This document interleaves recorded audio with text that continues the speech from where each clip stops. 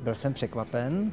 Um, to první pozvání do takovéto talk show. Uh, moc se těším.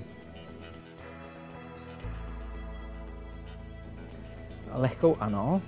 Um, proběhl jeden telefonický rozhovor a na základě toho mám nějaké očekávání, ale myslím si, že se taky trochu nechám překvapit.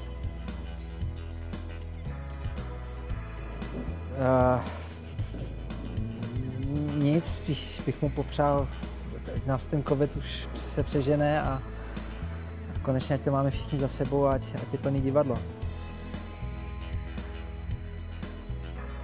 Ne, zatím ne. Já nejsem moc trémista.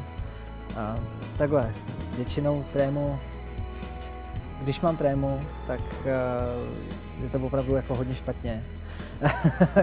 když trému nemám, tak se na to těším a já se moc těším dneska.